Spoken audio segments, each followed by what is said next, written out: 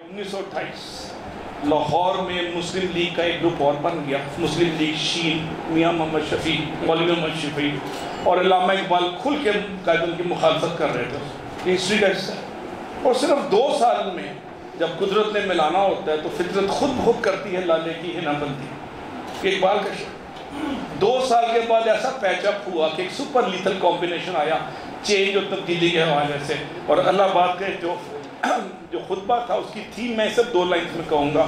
کہ I have a dream that Muslim of South Asia may have a separate homeland whereby they can practice their values and religion as per their teaching? یہ لب لباب ہے دو لائنوں میں جو میں پیش کرنے کی میں نے سعادت لی۔ اور اس یہ بنیاد تھی، تبدیلی کی، جس پہ ساؤتھ ایشیا کو ڈیوائیڈ ہو کے پاکستان کی تسخیر نہیں، بلکہ تکمیل یا اس کی فارمیشن کی بنیاد تھی۔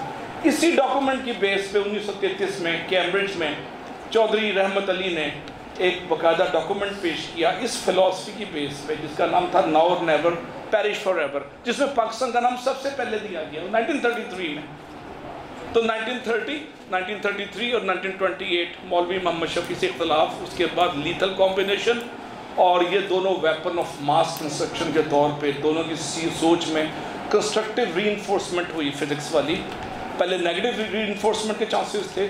لیکن کنسٹرکٹیو ری انفورسمنٹ ہوئی اور نیا تخلیق پاکستان کے لیے انیس سو چالیس میں باقاعدہ قرارداد پیش ہوئی اور اگلے یہ تھا آپ کی mission statement vision statement nineteen thirty nineteen forty mission statement قرارداد لاہور اور پھر final goal final destination Pakistan.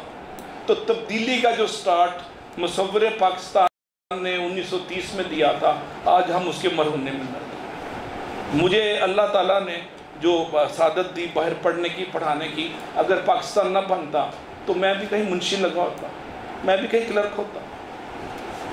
تو یہ جو تکمیل پاکستان کے بعد ہماری اگلی جنریشن نے گین کیا، وہ تھا کہ ہم ترقی اور کامرانی کے لیے بین الاقوامی شعرہ پہ کیسے جاتے ہیں اس وقت نیا پاکستان کی بات کامن ہے۔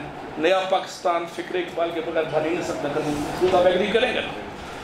فکر اقبال ایک بنیادی منبع، ماخذ، مخرج اوریجر اور بیسک وہ پوائنٹ ہے اوریجنیٹنگ پوائنٹ ہے، جس پہ پاکستان کی، نئے پاکستان کی تشکیل ہو سکتی ہے۔